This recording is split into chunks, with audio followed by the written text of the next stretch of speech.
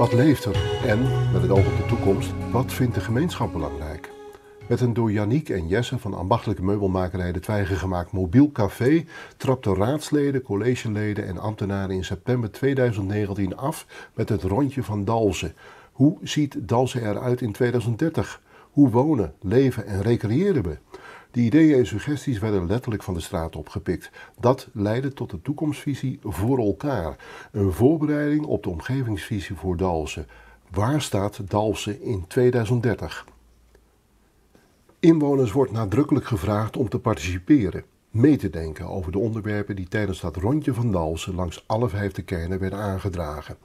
Met een animatiefilmpje worden jong en oud, boer, burger of buitenmens uit alle vijfde kernen in het najaar van 2020 uitgenodigd om digitaal mee te praten. COVID-19, weet u wel. Het coronavirus maakt alles anders dan anders. De toekomst van Dalsen, valt die te voorspellen? Grote kans van wel.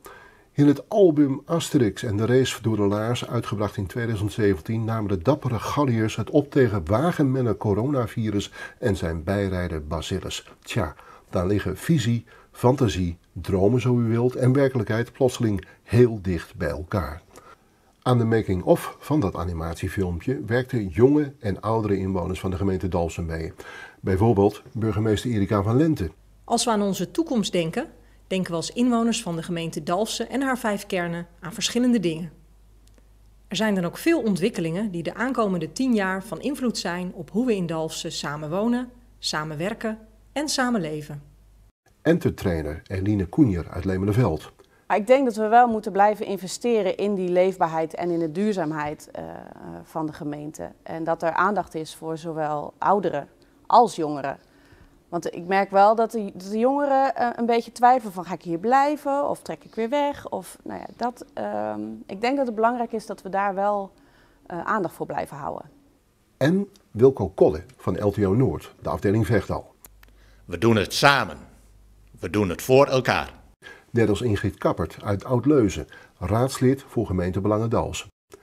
En de jonge Dalsenaren dan, nou, de basisschoolleerlingen Willeke en Sietse Lautenbach uit Dalsen staken hun mening niet onder stoelen of banken.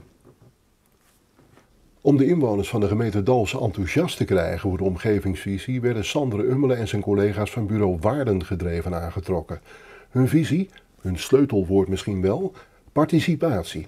Het blijkt een natuurlijk proces, zoals hier tijdens de making-of van het animatiefilmpje over de toekomst van Dalsen. Ja, maar als we iets met participatie willen doen, dan kunnen we niet mensen alleen maar uitnodigen om naar ons te komen. Dan moeten we naar de mensen toe. Ja. Dus uh, toen hebben we ook een, uh, een uh, bureautje gevonden hier uit de buurt die een mobiel café voor ons heeft gemaakt. En daar zijn we samen met de gemeenteraadsleden, maar ook mensen vanuit de gemeente zelf, de ambtenaren, zijn we op pad gegaan en hebben we de mensen in alle dorpskernen gesproken.